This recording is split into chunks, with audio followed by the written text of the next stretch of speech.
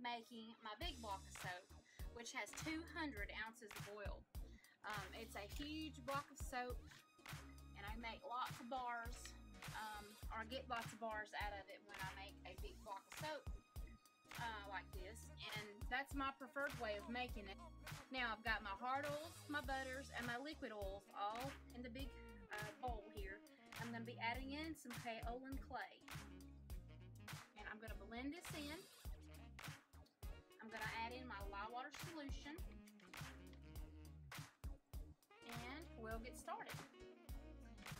I'm going to be making some uh, volcano soap, which is smells really, really good. I have to work fast with this. So it, it's a very good seller for us. And when I cut it, it's going to come out beautiful because it will be all different colors. Okay, so I'm going to speed the video up and I'll be right back.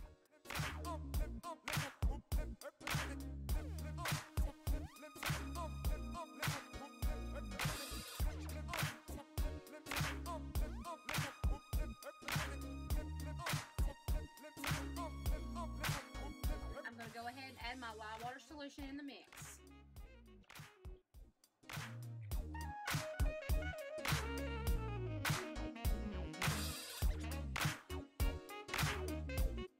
Now, now that I've got this blended up, I'm going to go ahead in my individual buckets and I'm going to uh, break this down into my different colors.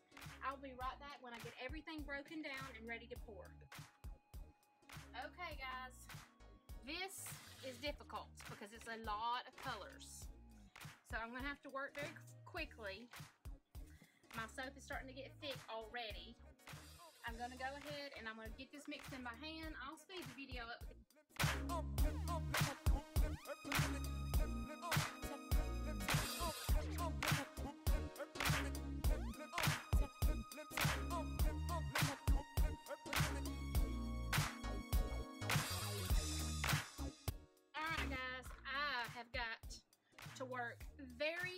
very, quickly.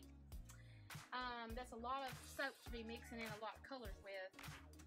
So I'm fixing to get started.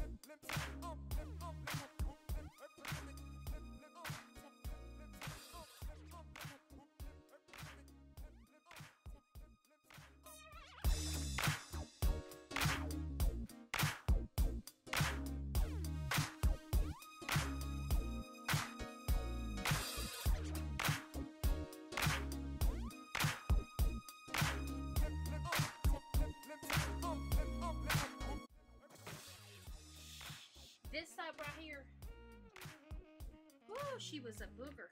So, I'm not going to stick a spatula in there to further swirl the inside. I'm leaving the inside exactly how it was put into the mold.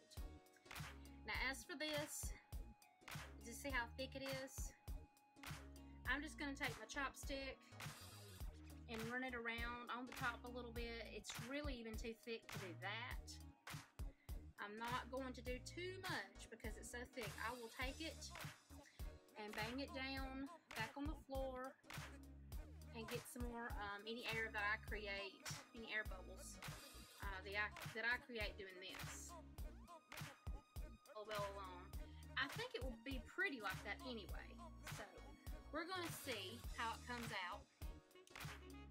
That was a lot of colors to make and for a big block of soap. And I'm going to spray this down with alcohol, put it to bed, and we'll come back in just a moment. We'll slice it up. See you in just a minute.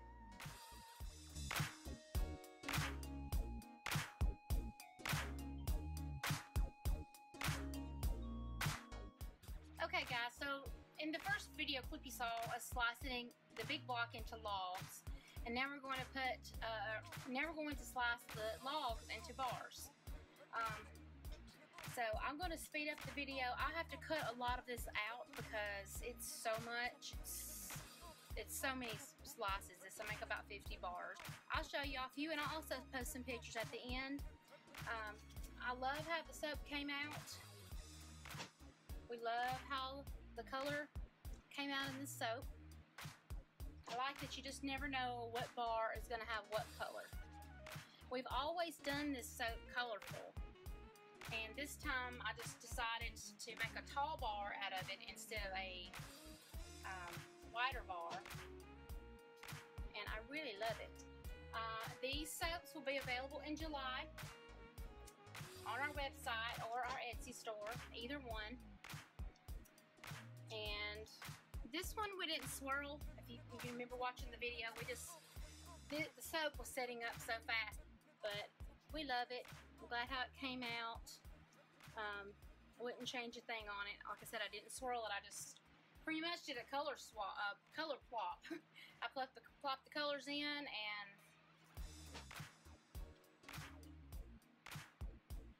Alright, so I'm going to continue to slice these up and I'll post some pictures at the end of this video and I sure do appreciate each and everybody watching the videos more than you'll ever know. You're so much appreciated.